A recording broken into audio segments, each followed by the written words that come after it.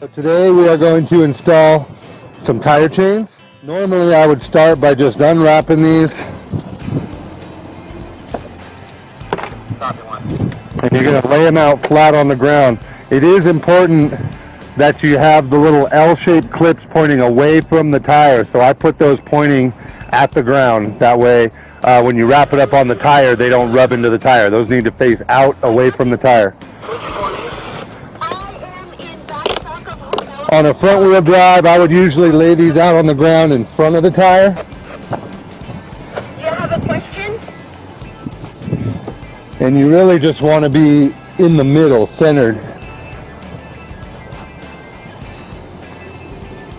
So we'll put it out in front and now we're going to pull the vehicle up on top of the tire chain so that it's it's pretty much right in the middle. As long as you got room to get your hands in the wheel well here to connect them, I would just go middle and middle is pulled up onto the tire chain, you basically just want to pull both halves together.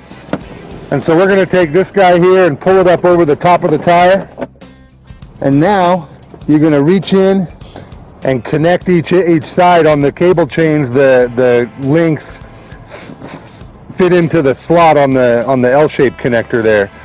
But it's easier to work on the outside, so I always just hook it and I tighten the inside first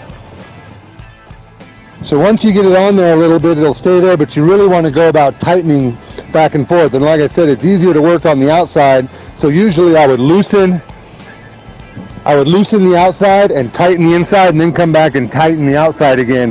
That way you can kind of work back and forth. You want to be on the same number of links if possible. So, you know, four or five on the outside, same on the inside. If you only have one or two on the outside and you have six links on the inside, you want to even that out a little bit. The last thing is your tensioner. Because even when they're on here pretty good sometimes they still have some slack. And so the tensioner is a bungee that just keeps pressure on the tire chain which is very nice. And you just space these hooks out pretty evenly.